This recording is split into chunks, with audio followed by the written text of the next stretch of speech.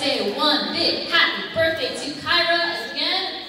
Happy birthday, Kyra.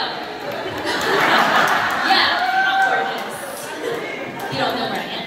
I'm right here. Okay, so if you want to try a cupcake, please feel to feel free to help yourself after the program. But right now,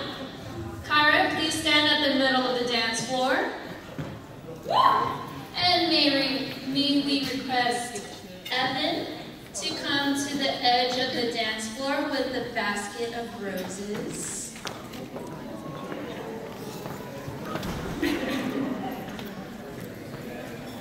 And may we also request the following gentlemen to go to the left side of the stage for the 18 roses. So if you know you're in 18 rows, please come to the left side of the stage where I am.